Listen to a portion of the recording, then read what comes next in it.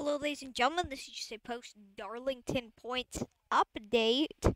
Justin Haley still in a dominant lead after Tyler Reddick won the throwback night, which was a big shocker for us all. First career win for Tyler Reddick, as now Kyle Larson has just dropped down the order, putting Daniel Swar or no, putting Michael McDowell now in fifth in points and not at risk of elimination. Currently, Chris Buescher, um, uh, currently one of our highest winners who is at risk of elimination as we have Austin Dillon, we have Michael McDowell, we have Eric Almirola, we have Kyle Busch, um,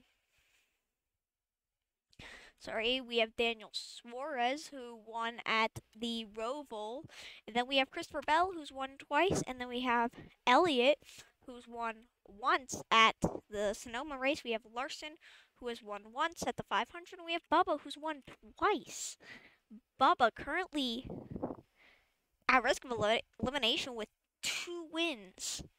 We've seen single winners eliminated, but double winners, that would be a first this season. Anyways, I will see you all at Kansas Motor Speedway.